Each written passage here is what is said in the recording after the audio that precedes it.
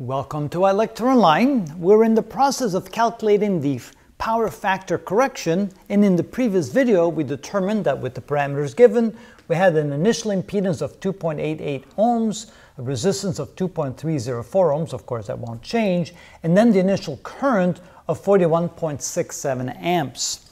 We also need to calculate the reactive, uh, the uh, uh, inductive reactance. That's what I was looking for. And so we can then set up our triangle. We have the phase angle, we have the impedance and the resistance.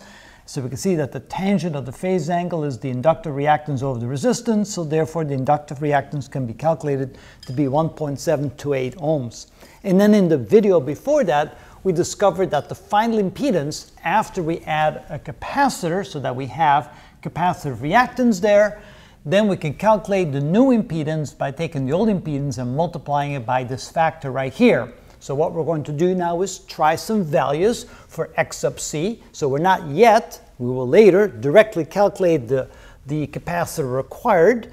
But right now, let's just throw in some values for the capacitive reactance with the initial impedance of 2.88 ohms, add some capacitive reactance to the circuit in parallel, then we calculate this factor, and now we have our new impedance, the final impedance. Hopefully, a larger impedance, therefore requiring less current to the circuit. So it turns out when we first try 2 ohms of capacitor reactance, we actually have a smaller power factor and therefore our impedance actually dropped. So that would not be a good value. It would not be a good capacitor that only provides 2 ohms of capacitor reactance. But if we use a different capacitor, and now we have capacitor reactance of 4 ohms, notice that now this, this quantity increased, and now we have a final impedance of 3.56 ohms, which is larger than the initial impedance, and therefore will have a larger power factor and less current required.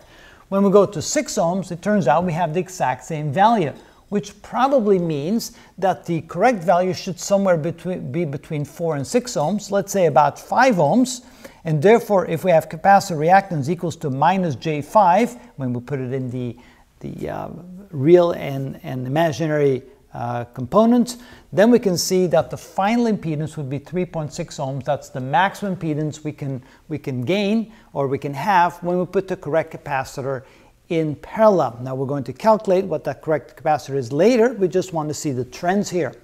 Then you can see that if you continue to increase the capacitor reactance, now you're starting to get less and less of an impedance when you get all the way up to 20 ohms. Now our impedance is only 3.12 ohms, so that's not the optimum value to be used for that correction factor, for the for the uh, power factor correction, we need to pick the correct capacitor so that we maximize the impedance. And here, by using a series of values, we noticed that if the capacitor reactance is around 5 ohms, we have the maximum uh, in uh, the maximum impedance, and therefore the largest power factor, probably very close to 1, and therefore we have the least amount of current required to power our circuit.